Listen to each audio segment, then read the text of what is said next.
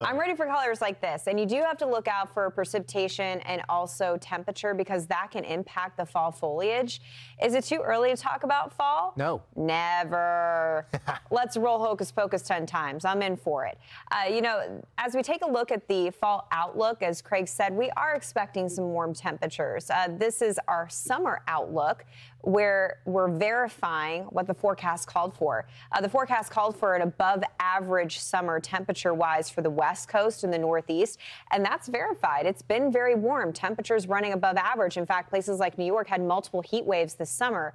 We still have a couple more weeks to get through, and it looks like fall is going to follow suit. So the overall forecast here for fall, the majority of our country will have temperatures above average. Now, don't freak out. You can still put on a puffy vest. You can still wear Ugg boots. You can still get pumpkin spice lattes mm. because this is the average, right? So we're going to add up all the temperatures between September and November.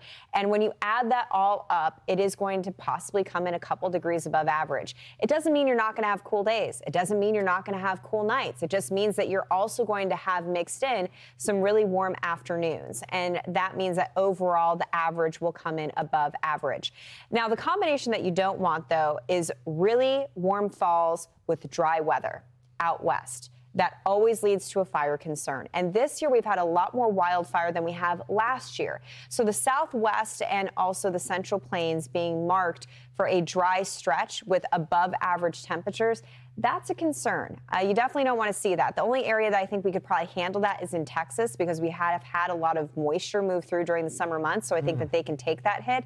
But the desert Southwest having, you know, warm, dry conditions for the fall, that would be a concern. So one thing to think about.